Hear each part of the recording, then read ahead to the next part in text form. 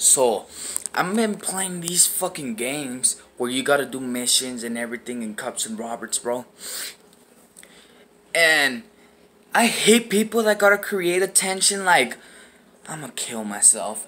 Oh, they put us a title. They put us a title. I'ma kill myself. Oh, my life is gonna end. And I'm so sad just to create attention. And then as soon as you get in the server, they're like, I'm so depressed. I'm sad. I uh, let's just say I want to if you want to help them, they're to be no, it's okay. You cannot save me. I'm to kill myself. And what pisses me more off is that they say grabs the gun and then puts in her head and blows off. Okay? And gee, that that's not that. So if you're one of those bitch ass idiots that always gotta come in the fucking server, don't go the fuck in!